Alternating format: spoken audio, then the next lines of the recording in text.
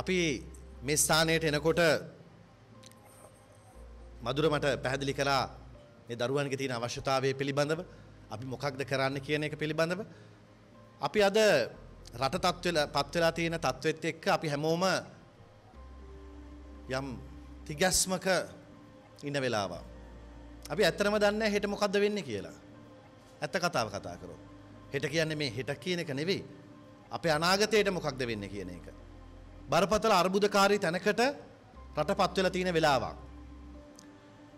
එහෙම වෙලාවක මදුර කල්පනා කරලා මේ දරුවෝන්ගේ අනාගතය ගැන වැඩපිළිවෙලකට එන්න කිව්වහම මම බොහොම කැමැත්තෙන් මගේ මං හිතන්නේ අමාත්‍යවරයා විදියට වැඩ බාරගත්තට පස්සේ පළමු මහජන හමුවීම අද දවසේදී සිද්ධ වෙන්නේ නැත්නම් අපි වැඩ කරගෙන වැඩ කරගෙන යනවා පොදු රැස්වීමකට සහභාගී වෙච්ච පළවෙනි අවස්ථාව ඒත් මම සතුටින් සහභාගී වුණේ. දරුවන් වෙනුවෙන් පළවෙනි වැඩකට අත ගහන්න පුළුවන් නම් ඒකට සතුටුයි කියලා. එනකොට කොඩි ටික දැක්කහම මුලින්ම දැක්කේ මම නිල් පාට කොඩියක්. ඊට පස්සේ මම දැක්කා මෙන්න මේ මේ පාර මේ පඳු මොනවාද මේ මෙරුන් කල කොඩියක්. හැබැයි ටිකක් එනකොට දැක්ක පාට පාට කොඩි ගොඩක් තියෙනවා. අපි කැමති පාට පාට කොඩි ගොඩක් තියෙන. හැමෝම පාටවල් වලට ලඟු නොවෙච්ච සියලු දෙනා පොදුවේ අරමුණු වෙනුවෙන් ජයග්‍රහණ වෙනුවෙන් කැප වෙන ලෝකයක් දකින්න අපි බොහොම ආසාවෙන් ඉන්නේ මදුරලත් ඒ මතවාදය දරනවා අපි හැමෝම මේ වෙලාවේ පාට අමතක කරලා පක්ෂ අමතක කරලා වෙන කිසිදු වාද ભેද නැතුව රටක් විදියට ජාතියක් විදියට එකතු වෙන්න ඕනි වෙලාවක් ඇවිල්ලා ඉන්නේ. අද මේ ගොඩනැගුණු ආණ්ඩුව නමවෙනිදා රට ඇතුළේ ඇතිවෙච්ච අරාජිකත්වයත් එක්ක රට ඇතුළේ ගොඩනැගුණු ආණ්ඩුව අර්බුදයේ ආණ්ඩුවක්. අර්බුදය හරහා ගොඩනැගිච්ච ආණ්ඩුවක් අර්බුදය විසඳීම සඳහා යම් දායකත්වයක් කැපවීමක් කරන්න කැමැත්තක් තියෙන පිරිසක් එකතු වෙලා අපේ පෞද්ගලික දේශපාලන මතිමතාන්තර පැත්තකට දාලා අපිට වැඩක් කරන්න පුළුවන් හයියක් තියෙනවා ශක්තියක් තියෙනවා අපේ ශක්තිය රට වෙනුවෙන් කරන්න ඕනි. එහෙම නැතුව මම දැන් පත්තරේ මේ මේ Facebook එකක දැක්කා. ඇතමුන්ගේ දැනුම බල්ලාගේ අහවල් ප්‍රදේශයේ බඳින ලද මීයක් වැනිය කියලා. ඇතමුන්ගේ දැනුම. මේ රට හදන්න අවශ්‍ය වෙලාවේ දැනුම දෙන්නේ නැත්තම් කවුරු හරි. මේ වෙලාවේ රට හදන්න එකතු වෙන්න දෙන්න පුළුවන් හයියක් තියෙන කිසි කෙනෙක් හරි ඉන්නවනම් ඒ අය දැනුම දෙන්න ඕනි. ඒ අය හයිය දෙන්න ඕනි. අපේ තරුණකම අපේ ජවය අපේ දැනුම අපි මේ වෙලාවේ රට මේ පත්වල තියෙන තැනින් ගොඩනගන්න ඕනයි කියන තැන ඉඳලා තමයි අපි මේ සහයෝගය ලබා දෙන්නේ. දැන් අද මේ තරුණයෝ එකතු කරන්න අපේ මන්ත්‍රීතුමා ඒ වගේම යොවුන් සේනාංකය මන්ත්‍රීතුමාගේ ආදර්ශයෙන් අවවාදයෙන් අපේ මදුර මැතිතුමාගේ ඇයි මෙතැන්ට එකතු කරන්නේ. රටේ තියෙන ප්‍රශ්නයට විසඳුම් හොයන්න තියෙන ඉතාමත්ම ක්ෂණික ක්‍රියාමාර්ග මොනවද කියලා හොයන එක. එක පැත්තකින් දරුවෝ දරුවන්ගේ අනාගතය පිළිබඳ ලොකු අර්බුදයකට මුණ දීලා ඉන්නවා. මේ දරුවන්ට රජයේ රස්සාවල් ගැන කල්පනා කරන එක මන් දන්නේ තව අවුරුදු කීයකින් අපිට රජයේ රස්සාවල් දෙන්න පුළුවන් වෙයිද කියලා. දැනට SME සෙක්ටර් එකේ කුඩා හා මධ්‍ය පරිමාණ ව්‍යවසායකයින්ගේ ක්ෂේත්‍රයේ රැකී රක්ෂාවල ඉන්න අය. ලක්ෂ හතාටක් ලබන සුමාන තුන හතර වෙනකොට රැකී රක්ෂාවලින් ඉවත් වෙනවා.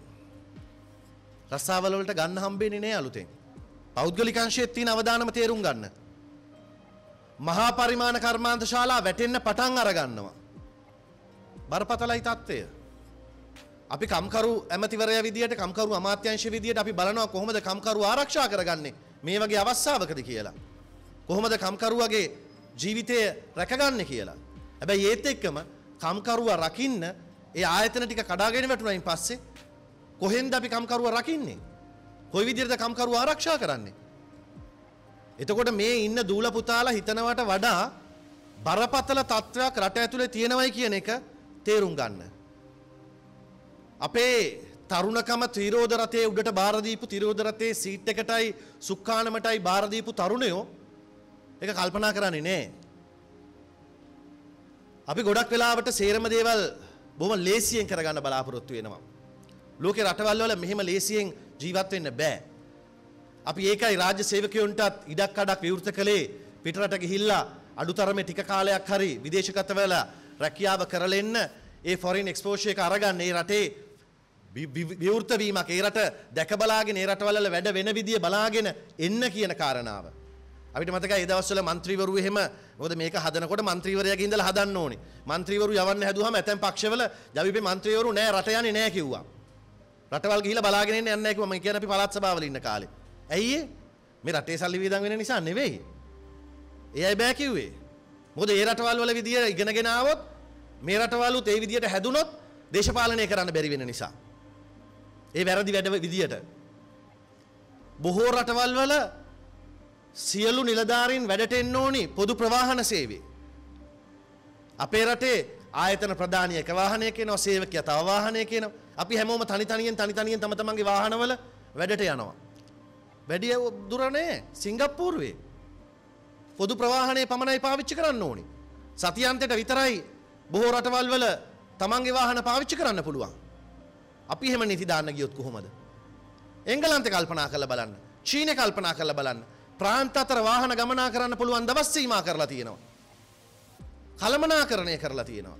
අපි රත්තරන් නිධානයක් උඩ වාඩි වෙලා ඉන්නවා කියලා මధుර කිව්වට රත්තරන් නිධානයක් නිකන් අපිට අත් දෙකට පහළ වෙලා වගේ තමයි අපි රටක් විදියට ජීවත් වෙන්නේ. අපි ඉන්න තැන අපි දන්නේ නැහැ. අපේ රට ඉතිහාසයේ හොඳ තැනක තිබුණා. හැබැයි අපි දන්න ඉතිහාසයේ ඉඳලම හාල් සේරු දෙකට හාල් සේරුවට තුනයි පණහේ පාංගෙඩියට ඇට අටට ඡන්දෙ දීපු රටක් නේ අපි. මේ දරුවෝ ඒව දන්නේ නැහැ. කියවපු උදවිය දන්නව ඇති දුල පුතාලා. අපේ රටේ හැමදාම දේශපාලනේ තීරණය වුණේ එහෙමයි. අපි හාල් සේරුවට ඡන්දෙ දුන්නා. ඊළඟ කෙනා ඇවිල්ලා හාල් සේරු දෙකක් දෙනවා කිව්වම ඡන්දෙ දුන්නා. ඊට පස්සේ කෙනා ඇවිල්ලා ඇට අටක් දෙනවා කිව්වම ඡන්දෙ දුන්නා. තව කෙනෙක් ඇවිල්ලා හඳෙන් හාල් ගේනවා කිව්වම ඡන්දෙ දුන්නා. මේකයි අපේ රටේ තත්ත්වය. අවසාන වශයෙන් 3.50ට පාන් දෙනවා කිව්වහම ඒකත් හරියන්නේ නැති වුනහම ජාතිවාදයේ මාකට් කරාම ඡන්දේ වෙනස් වුණා. මේක සිංහල රාජ්‍ය භාෂාවයි පමණයි කියලා ජාතිවාදයේ පටන් ගත්ත දවසේ ඉඳලා විවිධ විදියට විවිධ පක්ෂ සියලු පක්ෂ තමන්ගේ දේශපාලනයට මේ රටේ අනාගතය උගස් කළා. ඒකයි උනේ. අපි කවදාවත් රට ඇතුලේ සිස්ටම් හදන්න මිනිස්සුන්ගේ විනය හදන්න ක්‍රමවේද හදන්න අපි උනන්දු උනේ නැහැ. දේශපාලන අවශ්‍යතා නිසා අපිට ඡන්ද ගන්න බැරි වෙයි කියලා. ඒකයි අපි හිතුවේ අපි ගෝඨාභය රාජපක්ෂ මහත්තයාට ඡන්දෙ දුන්නේ නැති වුණාට අපි හිතුවා ගෝඨාභය රාජපක්ෂ මහත්තයා ආවහම එන්නේ හමුදා නිලධාරියෙක් විනය හැදෙයි රට හැදෙයි මොනවා හරි සිස්ටම් ටිකක් හැදෙයි කියලා. ඉතින් ඒක උනේත් නැහැ. ඒකනේ මිනිස්සුන්ගේ තියෙන මේ බලාපොරොත්තු සුන්වීම මේක මේ මේ යථාර්ථය අපි කතා කරන්නේ මේ දේශපාලනයේ පක්ෂ කතාවක් නෙවෙයි. මිනිස්සුගේ බලාපොරොත්තු කඩාගෙන වැටුණා. දැන් අපි වැටිලා තියෙන තැන මොකක්ද? අපි වැටලා තියෙන්නේ වැටෙන්න තියෙන අන්තිම තැනට. අපි වැටිලා තියෙන්නේ පැදුරට නෙවෙයි. පැදුරෙනොත් බිමට වැටිලා ඉවරයි රටක් විදියට. දැන් මේ වගේ වෙලාවක තමයි ස්වර්ණමය අවස්ථාව ඇවිල්ලා තියෙන්නේ. අපිට යුද්ධ ඉවරුණාම ආවා හොඳ වෙලාවක්. අපිට කොරෝනා සුරාමිය ඉවරුණාම ආවා හොඳ වෙලාවක්. ඒ අවස්ථා දෙකෙන් අපි නිසි ප්‍රයෝජන ගත්තේ නැහැ. දැන් ඇවිල්ලා තියෙන්නේ බිමටම වැටිච්ච වෙලාව. දැන් හදවත් වලින් තේරුම් අරගෙන මොලෙන් කල්පනා කරලා මේ වෙලාවේ රටේ අනාගතය වෙනුවෙන් සියලු දෙනා කැප වෙන්න ඕනි වෙලාව ඇවිල්ලා තියෙන්නේ. මේක වෙනස් කරන්න බෑ. නැවෙන කෝටු දිරච්ච කෝටු මෝරපු කෝටු නවන්න බෑ. කැඩෙනවා. හැබැයි මේ දරුවෝ නැවෙන්න අඹරන්න වෙනස් කරන්න පුළුවන් නිර්මාණය කරන්න පුළුවන් දරුවෝ ඕගොල්ලන්. ඕගොල්ලන්ට පුළුවන් ඕගොල්ලන්ගේ ජීවිතය වෙනස් කරගන්න. ඕගොල්ලන්ට පුළුවන් මේ රට වෙනස් කරන්න. ඕගොල්ලන්ට පුළුවන් මේ රටේ ඉදිරි ගමන ඉදිරි දිශානතිය කොතනටද යන්න ඕනි කියලා තීරණය කරවන්න. මිනිස්සු ඉල්ලන අරගල භූමිය ඉල්ලන සිස්ටම් චේන්ජ් එක මොකක්ද? සිස්ටම් එකක් ඉල්ලන්නේ. මේ හැමෝම කතා කරන්නේ සිස්ටම් එකක් පිළිබඳ ප්‍රශ්නයක්. ඒ සිස්ටම් එක අපි හදාගමු. අපි තරුණයෝ එකට මැදිහත් වෙමු. ඒකට ප්‍රචණ්ඩත්වයවත් ඒකට වෙන දේවල්වත් නෙමෙයි. සිස්ටම් එක හදාගන්න අපි හැමෝම එකට එකතු වෙමු. මේ සිස්ටම් චේන්ජ් කියන්නේ දේශපාලන බලහුමාරුවද? නෑ. සිස්ටම් චේන්ජ් එකක් කියන්නේ මේ රටේ සියලු දෙනා තම තමන් සියලු දෙනා යම් කිසි විනයගරුක ක්‍රමවේදයකට හැඩගැහිලා රටේ හදන නීති පද්ධතියක් අලුතෙන් සකස් වෙලා ඒකට අනුගත වෙලා වැඩ කරන්න සියලු දෙනා පුරුදු පුහුණු වෙන එක. අපේ ආකල්ප අපේ ඇටිටියුඩ්ස් අපි වෙනස් කරගෙන එතනට යන්න ඕනේ. මේ වගේ වැටිච්ච වෙලාවක ඒකට හොඳ අවස්ථාවක් මේ දරුවෝ මතක තියාගන්න ඇවිල්ලා තියෙනවා. මේක තමයි මේ රටේ ටර්නින් පොයින්ට් එක. මෙතනදී අපේ රටට ගොඩ එන්න බැරි වුණොත් අපේ රටට කවදාවත් ගොඩ එන්න බෑ. අද අපේ දරුවෝ වෙයි පාස්පෝර්ට් පොලිමේ දවසකට 3000 4000 පොලිමේ ඉන්නේ. අනාගතය ගැන කිසි බලාපොරොත්තුවක් නැතුව රට දාලා යන්න. බලාපොරොත්තුවක් නැතුව රට දාලා යන්න එපා. බලාපොරොත්තුවක් ඇතුව රට වෙනුවෙන් එළියට ගිහිල්ලා රට දියුණු කරන්න අදහස තියාගෙන ඒ යුතුයකම කරන්න. අද ඔබ ජපන් භාෂාව ඉගෙන ගන්න ඇවිල්ලා තියෙන්නේ. භාෂාව ඉගෙන ගන්න ඉතාමත් වැදගත් ජපන් භාෂාව ජපන් භාෂා ප්‍රවීණතා විභාගයේ සමත් නොවුනොත් ඔබට කිසි ලෙසකින් ජපන් රට කරා යන්න බෑ. මම මගේ තියෙන ආසාවට එම්බසිඩගෙන් ඉල්ලීමක් කරා පුළුවන් ද නිකන් පොඩි රස්සාවල් ටිකකට හරි අපිට දෙන්න භාෂාව නැතුව කීප දෙනෙකුට හරි කියලා තාම එහෙම ප්‍රතිචාරයක් ලැබුණේ නැහැ. මොකද ජපානෙ ගිහිල්ලා ජපන් භාෂාව නැතුව වැඩ කරන්න බැරි නිසා. ඒ නිසා ජපන් භාෂාව ඔබ ඉගෙන ගන්න පටන් අරගෙන ටික දවසක් යනකොට අපේ කොමසාරිස්තුමිය කිව්වා වගේ ඉවර වෙනකොට ඉන්න ගාන අඩු කරගන්නේ නැතුව අද ඉන්න ප්‍රමාණයම විභාගෙට ලියන තැනට ආවොත් සාමාන්‍යයෙන් විභාගෙට ලියන්න යන්නේ 130යි. ඒ සාමාන්‍ය බවට පත් කරන්න එපා ඔබ. ඔබ සාමාන්‍යයෙන් අසාමාන්‍ය කණ්ඩායමක් බවට පත් වෙන්න. සාමාන්‍යයෙන් 100ක් පටන් ගත්තොත් 30යි විභාගෙ ලියන්නේ. එතනට යන්න එපා. 100න් 99ක්ම විභාගෙ ලියන තැනට යන්න. ඔබට යොවුන් සේනාංකයකට උදව් කරනවා. මధుර විතානගේ මැතිතුමායකට උදව් කරනවා. නගර සභාව උදව් කරනවා. මේ වැඩේ අමතක නොකර අතාරින්නේ නැතුව හරියට අරගෙන ගිහිල්ලා N5 එකෙන් පටන්ගෙන N4 දක්වා විභාග දෙක සමත් කරගන්න. N5 සමත් වුණාම යම් රැකියා ප්‍රමාණයක් තියෙනවා. N4 සමත් වුණාම තමයි රැකියා ප්‍රමාණය වැඩි වෙන්නේ. සහ හොඳ රස්සාවල් වලට යන්න පුළුවන් වෙන්නේ. N3 N2 ලෙවල් වලට යන්න පුළුවන් වෙනව නම් වැඩි වැටුප් තියෙන වඩා හොඳ රස්සාවල් වලට යන්න ඔබට අවකාශය තියෙනවා මේක ඉක්මනින් ඉක්මනින් ඉවර කරගන්න. කාට හරි හිතෙන්න පුළුවන් පොර කාලා මේකට යන්න ඕනේ කියලා. ඔව් පොර කාලා එන්න. හැබැයි තරංගයක් නැහැ. ඇයි තරංගයක් නැහැ කියන්නේ? දැනට ජපානයේ තියෙන රැකී ආරක්ෂා ප්‍රමාණය සපුරන්න ලංකාවට ලැබිලා තියෙන ඉල්ලුම සපුරන්න අපිට භාෂා ප්‍රවීණතාවය සහ වෘත්තීය සුදුසුකම තියෙන දරුවෝ අපිට නැහැ. අපිට දැනට ලැබිලා තියෙන කෙයාගිවිං සෙක්ටර් එක ඒකන සාතු සේවකංශය ඒ වගේම ෆුඩ් ප්‍රොසෙසිං ආහාර සැකසුම් කර්මාන්තය මේ දෙකටවත් අපිට යවන්න කට්ටිය නෑ. අපි දැන් ඉදිකිරීම් ක්ෂේත්‍රයට ලබා ගන්න උත්සාහ කරනවා. සංචාරක ක්ෂේත්‍රයට අපි ලබා ගන්න උත්සාහ කරනවා. ඒවා එනකොට මේ ටිකටත් යවා ගන්න බැරි එකේ අපිට ළමයි නෑ. දැන් මම මුළු රටේම ඉන්න N5 N4 සමත් අය ලියාපදිංචි වෙන්න කියලා අපි දැන්වීමක් දාලා තීන ටික ගෙන්නගෙන ටක් ගාලා ඉන්ටර්විව් කරලා අපි යවන්න සූදානම් වෙනවා. ඒ නිසා ඔගොල්ලෝ මතක තියාගන්න මේ හැම කෙනෙකුටම N5 N4 පාස් කරොත් රජයේ මේ SSW ප්‍රොජෙක්ට් එක හරහා IIM Japan ප්‍රොජෙක්ට් එක හරහා IRO ප්‍රොජෙක්ට් එක හරහා ඇරෙන්න ඒ හරහා තියෙනවා. ඊට අමතරවත් මේ ශ්‍රමික වෙළඳ පොලේ පෞද්ගලික අංශ වලින් විශාල ප්‍රමාණයක් රැකී ආරක්ෂා ඇවිල්ලා තිනවා නොමිලේ බඳවා ගැනීම වලට. ඒ වලටත් යන්න ඉඩකඩ තියෙනවා. අවශ්‍ය සුදුසුකම් සපුරන අය නැති එක විතරයි ප්‍රශ්නේ තියෙන්නේ. දැන් ජපන් භාෂාව උගන්වනවා කියපු ගමන් රස්සාවල් එනවා කියලා අපි අමාත්‍යංශයේ බාරගෙන ජපන් තානාපතිතුමා සමග සාකච්ඡා කළා ප්‍රවෘත්ති එළියට දාපු ගමන් ජපන් භාෂාව ඉගෙන ගන්න බොහෝ දෙනෙක් ඌමනාව දැක්ුවේ නෑ. කරේ ගමේ මන්ත්‍රීතුමාගේ ගෙදෙට්ට ගියා. මට ජපානයේ අවල දෙන්න කියලා කිව්වා. එහෙම බෑ. නැත්තම් මොකද්ද කරේ? ගමේ ඉන්න කවුරු හරි තරව්කාරයෙක් හරි මට ජපන් රස්සාවල් තියෙනවා හවලා මට දුන්න කිව්වහම එයා ගාවට ගිහිල්ලා ඇප්ලිකේෂන් එක ගන්න රුපියල් 500යි ඈ ජපානයේ යවලා දෙන්නම් කියලා තව කීයක් හරි ගියයින් පස්සේ සල්ලි දෙන්න කියලා තව ටිකක් මුදල් වංචාවන් මහා විශාල සංඛ්‍යාවක් සිද්ධ වුණා. අපි විශේෂයෙන්ම දැනුවත් කරනවා මේ කුමන විදේශ රැකියාවකටවත් ඇප්ලිකේෂන් සඳහා මුදල් වලට ඇප්ලිකේෂන් විකුණනු නොලැබේ. ඇප්ලිකේෂන් මුදල් වලට ගන්න ඕන නෑ වෙබ් එකේ තියෙන ඇප්ලිකේෂන් එක. SLBFE වෙබ් එකේ. රැකී රක්ෂා සඳහා විදේශගත වීමට ජපන් යවන අය සියලු දෙනාගෙන්ම සත පහක්වත් අය කරන්නේ නෑ. අනෙකුත් රැකියාවල් වලටත් පෞද්ගලිකංශයේ යවන රැකියාවල් වලටත් අය කිරීම් තියෙනවා ඒවා නිශ්චිත රජයේ ගාස්තු විතරයි පෞද්ගලිකංශයට අය කරන්න පුළුවන් ඒකත් ලියාපදිංචි රැකියා නියෝජිත ආයතනයකට විතරයි ඒක අය කරන්න පුළුවන්. එහෙම නැතුව එක එක තරව්කාරයෝ බිහි වෙනවා. එක එක විදියට බිහි වෙනවා ගම්වල කොළ බෙදනවා, සල්ලි ගන්නවා. එහෙම අයට අහු වෙන්න එපා. එහෙම අයට අහු වෙලා සල්ලි ගෙවන්න එපා. එහෙම සල්ලි ගෙව්වොත් ඒක නැවත අත්කර දෙන්න රජයේ පැත්තෙන් අපිට නීතිමය පිළිසරණකුත් නැහැ. ඒ කියන්නේ අපිට විදේශ රැකියා නියෝජිත ආයතනයක් සල්ලි අරන් තිබුණොත් අපිට පුළුවන් වැරදි වැඩේ ගන්න ලයිසන් එක කැන්සල් කරනවා නීතිය ක්‍රියාත්මක කරන්න කියලා. හැබැයි ඔබ නොදන්න අපි නොදන්න කවුරුත් නොදන්න පාර්ශවයකට ලක්ෂ ගනම් මිනිස්සු තල්ලි දෙන්නේ. ඉතාලි යන්න, කොරියා යන්න, ජපන් යන්න, රුමේනියා යන්න, එක එක රටවල් වලට යන්න කියලා සල්ලි දෙනවා. මේකකින්වත් සල්ලි ගන්නව නම් කවුරු හරි ඒ බොරුවක් කියන එක තේරුම් ගන්න. සල්ලි ගන්නේ නෑ විදේශ රැකියා නියෝජිත ආයතනයකට හරි විදේශ සේවා නියුක්ති කාර්යාංශයෙන් හරි පරීක්ෂා කරලා විතරක් ඒව සඳහා යොමු වෙන්න කියන දැනුවත් කිරීමත් මම මේ වෙලාවේ කරනවා නැත්තම් මේ තියෙන ඩිස්පරේට් සිටුවේෂන් එකේ මේ තියෙන තත්ත්වෙදී ළමයි බලනවා කොහොම හරි යන්න. ළමයි බලනවා මොකක් හරි කරලා රටින් එළියට යන්න. කාට හරි කීයක් හරි දීලා යන්න බලනවා.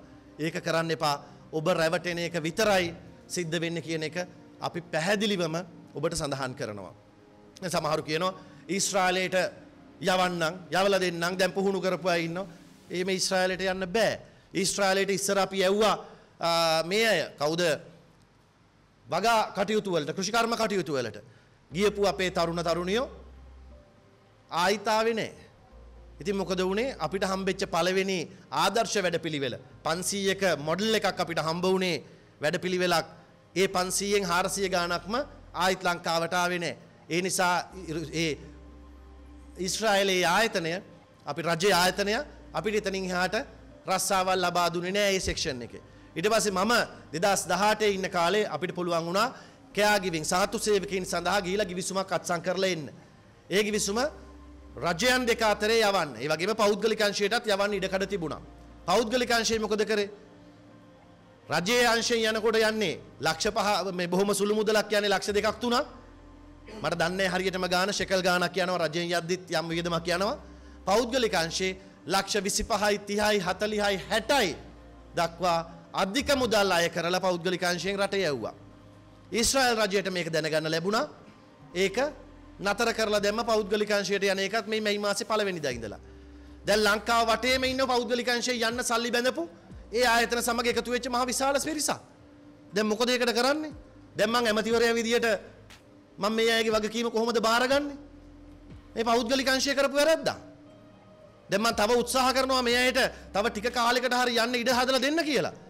හැබැයි රාජතාන්ත්‍රික ගිවිසුමක් තියෙනවා. රජයත් රජයත් සමග යවන එක තමයි ඒ අය ප්‍රමුඛතාවය දෙන්නේ. බරපතල ගැටලුවක්. ඉතින් අපි කියන්නේ ඒ වැරදි තැන්වලට වැරදි දේවල් වලට අහු වෙන්නේ යන්නේ නැතුව හරි මාර්ගවලට රජයෙන් වැඩ කරන දේවල් වලට සියලු දෙනාම එකට එකතු වෙලා වැඩ කටයුතු කරන්න කියලා. ඔබ අද මේ පටන් ගන්න වැඩේ මතක තියාගන්න ගොඩක් අය ඉන්නවා මේ රටේ අධ්‍යාපනය හදාරනවා. අපි හැමෝම උපන්දා සිට අපේ මරණ සහතිකයේ ලියන දක්වා දේ දක්වා මේ රජය අපි වෙනුවෙන් වියදම් කරනවනේ. ප්‍රාදේශීය ලේකම්තුමා යටතේ තමයි අපි උපැන්න විවාහ මරණ සියල්ල ලියාපදිංචි වෙලා උපන්න දවසේ ඉඳලා දෙන කඩදාසියේ ඉඳලා අපි වෙනුවෙන් වියදම් කරනවා. පෙර පාසලේ වෙදින එන්නතේ ඉඳලා රජය වියදම් කරනවා. ඊට පස්සේ අපිට දෙන ත්‍රිපෝෂ පැකට් එකේ ඉඳලා එතනින් පස්සේ පෙර පාසලද පාසලද උසස් අධ්‍යාපනයේද මේ සියල්ල රජය වියදම් කරලා අපි මේ රටේ දරුවන් වෙනුවෙන් රටේ අනාගතය හදන්න වියදම් කරනවා. ඒක රටක වගකීමක්. හැබැයි අපේ යුතුයකම මොකක්ද? අපි රටට පෙරලා නැවත සේවය කිරීම. හැබැයි අපොස උසස් පෙළ සමත් වෙච්ච ගමන් එහෙම නැත්නම් විශ්වවිද්‍යාලය අවසන් වෙලා මේ විශ්වවිද්‍යාලයේ මහ පොළත් අරගෙන බර්සරි එකත් අරගෙන සේරම අරගෙන පිට රටට ගිහිල්ලා ඒ රටවල් වල අධ්‍යාපනය ලබන්න මෙහි තියෙන ඩොලර් ටිකත් අරගෙන සමහරු යනවා. මෙහි ඩොලර් ටිකත් අරගෙන යනවා එහෙ ඉගෙන ගන්න. ගිහිල්ලා එහෙම අවාහ විවාහවත් වෙලා ඒ රටට බදු මුදලුත් ගෙවලා ඒ රටට සේවයක් කරලා දැනුමත් ඒ රටට ලබා දීලා එහෙ ඉඳගෙන Facebook එකෙන් අපේ රට හදනවා. ගොඩක් අය එහෙමයි. හැබැයි ඒ අය අපේ රටට ණයයි. මේ රට වෙනුවෙන් ඒ අය යුතුයකමක් කරන්න ඕනේ. මම ඔබෙන් ඉල්ලීම කරන්නේ ඔබ ආද ඉගෙන ගන්නේ ජපන් භාෂාව පිටරට ගිහිලා සේවය කරන්න. රට අසීරු මොහොතකට වැටිච්ච වෙලාවේ. ගිහිලා සේවය කරන්න. සේවය කරලා හම්බු කරන මුදල් ටික ලංකාවට එවන්න. බැංකු පද්ධතිය හරහා. එතනින් පස්සේ ඒ රටේ ඉගෙනගත්තු දැනුමත් අරගෙන මෙහෙවපු සල්ලි ටිකත් පාවිච්චි කරලා ව්‍යවසායකයෙක් වෙන්න. ජපානයේ දියුණු වෙච්ච රහස කිව්වා ව්‍යවසායකයෝ වැඩි කරලා තමයි දියුණු උනේ. දැනුමත් එක්ක ඔබ ව්‍යවසායකයෝ බවට පත් වුණොත් රට ඇතුලේ මේ රට ඉක්මනින් ගොඩනගන්න පුළුවන්. එතනට තමයි අපි බලාපොරොත්තු වෙන්නේ. ඒ වගේම ඒ මුදල් එවන සල්ලි නිසා තමයි අපිට අද කියනවා 13 දෙනෙක් පූලිං වල මේ වෙනකොට මැරිලා තියෙනවා. ඒ බොහොම විවේචනාත්මකව කතා කරනවා. පෝලිං වල 13ක් මැරිලා. පෝලිං වල මිනිස්සු මැරෙන්න ඕන නම් රටවල් රටට තෙල් දෙන්න බැරි වෙනකොට රට වහන්න ඕන නම් මොකටද ආණ්ඩුවක් කියලා අහනවා. දැන් අහනවනේ. රටට තෙල් දෙන්න බැරි වෙනව නම් රට වහනවා නම් ආණ්ඩුවක් මොකටද කියලා. මේ රටේ දීර්ඝකාලීනව සහ මෑතකාලීනව ගත්තු ආර්ථික වැරදි තීන්දුව නිසා ඔව් වැරද්දක් වුණා. දැන් මොකක්ද අපි කරන්න ඕනේ? වැරද්ද වෙච්ච නිසා වැරදිකාරයෝ හිරගෙට යනකම් වැරදිකාරයෝ මේ රට දාලා යනකම් එහෙම නැත්නම් වැරදි කියන අය සියලු දෙනා පන්නනකම් මේ රටේ මිනිස්සු මැරෙනකම් බලන් ඉන්න ඕනිද? දැන් පොලිමේ 13ක් මැරිලා. 14 වෙනියා මැරෙනකනොත් අපිට බලන් ඉන්න පුළුවන්ද? අපි මේ ගණන් හදන්නේ අපි දන්න දේවල්. හැබැයි අපි දන්නේ ස්පිරිතාලවල බෙහෙත් නැතුව කීයක් මැරෙනවද කියලා. අපි දන්නේ ගම්වල නයි කාලා බල්ලෝ කාලා කීයක් ඇන්ටි වෙනම් නැතුව මැරෙනවද මිනිස්සු කියලා. දන්නේ නැහැ. එහෙනම් අපේ යුතුයකම මේ වෙලාවේ එකතු වෙලා මේකට හයියක් දෙන්න. ඒකයි අපි මෙතනට ආවේ. හැබැයි අපි ගත්තු අවදානමත් එක්ක මේ ගත්තු තීන්දුවට අපේ විදේශගත ශ්‍රී ලාංකිකයෝ බොහොම හොඳ ප්‍රතිචාරයක් දක්වලා තියෙනවා. ඩොලර් මිලියන 248ක් එවපු විදේශගත අපේ ශ්‍රී ලාංකිකයෝ පහුගිය මාසයට විතරක් ඩොලර් මිලියන 54ක් වැඩි කරලා බැංකු හරහා සල්ලි ගෙවල් වලට එව්වා. අපි ඒ අයට සූතිවන්ත වෙනවා. ඒ අය එවපු සල්ලි නිසා මැරෙන්න හිටපු තව 10 දෙනෙක් මැරෙන්නේ නැතුව ඇති. ඒ අය එවපු සල්ලි නිසා අපි බෙහෙත් ගෙන ඒවා. ඒ අය එවපු සල්ලි නිසා අපි තෙල් ගෙන ඒවා. ඒ අය එවපු සල්ලි නිසා අපි ගෑස් ගෙන ඒවා. අපි ගෑස් පොලිමේ පොඩ්ඩක් හරි අඩු වුණා නම් තෙල් ටික දවසකට හරි ගහගන්න පුළුවන් වුණා නම් ඒ විදේශගත ශ්‍රමිකයෝ අපිට සල්ලි යවපු නිසා. ඒ අයට අපි සූතිවන්ත වෙන්න ඕනේ රටක් විදියට. මේ දරුවොත් ඒ වගකීම හිතේ දරා ගන්න. අපි කොහොම හරි යුතුයකම ඉෂ්ට කරනවා. රට වැටිලා තියෙන තැන කාටවත් චෝදනා කර කර ඉන්න වෙලාවක් නෙවෙයි. චෝදනා පස්සේ බලා ගනිමු. හොරු අල්ලමු අල්ලන්න ඕනි වෙලාවට. හැබැයි අපේ යුතුයකම තියෙන්න ඕනි මේ වෙලාවේ රටේ ජීවනාලිය රටේ මිනිස්සු ටික බේරගන්න එක. ඒකට එකතු වෙන්න ඕනි.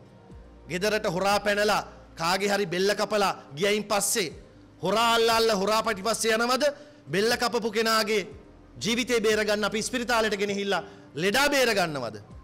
හැබැයි සමහරු කියන්නේ ලෙඩා මැරුණත් කමක් නැහැ. හොරා අල්ල ගන්නකම් සල්ලි එවන්න එපා කියලා. ලෙඩා මැරුණත් කමක් නැහැ. හොරු පන්නනකම් ආණ්ඩු පෙරලනකම් වවන්න එපා කියලා. අලුත් පෙරලුණු පසේ තමයි වවන්න ලේසි කියලා. එහෙම ගියොත් පෙරලන්න වෙන්නේ පස් අර බෙල්ල කැපිච්ච බෙල්ල කැපිල වගේ දැන් පනාදින අපේ මිනිස්සුන්ගේ වලවල් වලට තමයි පස් පෙරලන්න වෙන්නේ කියන එක අපි මේ වෙලාවේ මතක් කරනවා. මේ දරුවන්ට මේ වෙලාවේ සිහිපත් කරලා දෙනවා. මම මේ ගොඩක් කාරණා පැහැදිලි කරේ. තේරුම් ගන්න රටේ තියෙන තත්ත්වය ඉතාමත්ම අමාරු තැනක තියෙන්නේ. සියලු දෙනා එකට එකතු වෙලා ගොඩනගන්න ඕනි තැනක තියෙන්නේ. මේ දරුවෝ අද පටන් ගත්තු මේ අදිෂ්ඨානශීලීව රටේ ප්‍රශ්න වෙනුවෙන් ඉදිරිපත් වෙලා තමන්ගේ අනාගතය වෙනුවෙන් ඉදිරිපත් වෙලා ගන්න මේ ගමන අතරමඟ නතර කරන්නේ නැතුව හොඳ ගමනක් ඉස්සරහට යන්න. මේක සංවිධානය කරපු අපේ නාගරික මන්ත්‍රීතුමාට නගරාධිපතිතුමාට නගර සභාවට කොමසාරිස්තුමියට ප්‍රාදේශීය ලේකම්තුමාට ඒ වගේම රවුන්ඩ් සේනාංකයට ඒ වගේම මේ වැඩේට නායකත්වය දෙන අපේ මధుර විතානගේ සහෝදරයට අපි ස්තුතිවන්ත වෙනවා. තරුණයෙක් තරුණ කොහෙද? මම බැලුවට අක්ගාලා වයස කීයද කියලා. මං කියන්නේ වයස කීයද කියලා. කොණ්ඩේ කපලා තියෙන නිසා වයස බලා ගන්න බෑ. හරිද? හැබැයි තරුණයෙක් විදියට හොඳ ජවයක් එක්ක රට ගොඩනගන්න ලොකු වැඩපිළිවෙලක් කරන්න ශක්තිය ධෛර්යය ලැබේවා. මේ කරන වැඩවලට අපේ දෙන්න තියෙන පූර්ණ සහයෝගය අපි ලබා දෙනවා. කියන එකත් මතක් කරමින් මම නිහඬ වෙනවා. බොහොමත්ම ස්තුතියි.